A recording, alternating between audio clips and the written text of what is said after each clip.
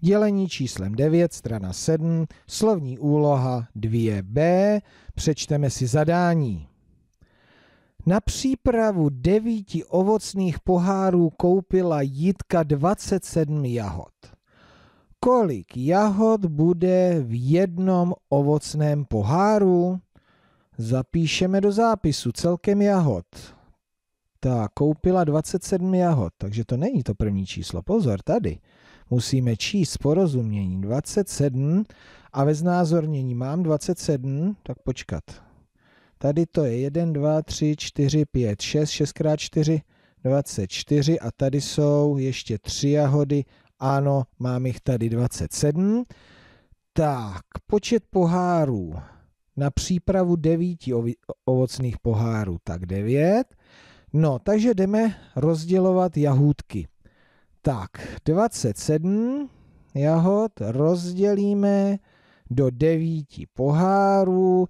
27 děleno 9 rovná se 3.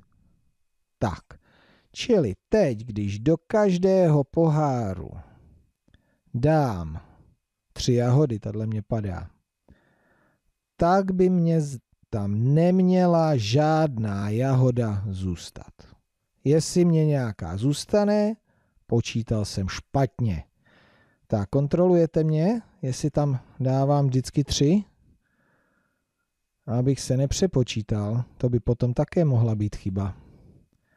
Tak, a už to vidím, vidíte to taky? Ono to vyjde, čili 27 děleno 9 rovná se 3, protože mě to takhle krásně vyšlo. Do každého z devíti pohárů jsem opravdu narovnal tři jahody. Otázka, kolik jahod bude v jednom ovocném poháru?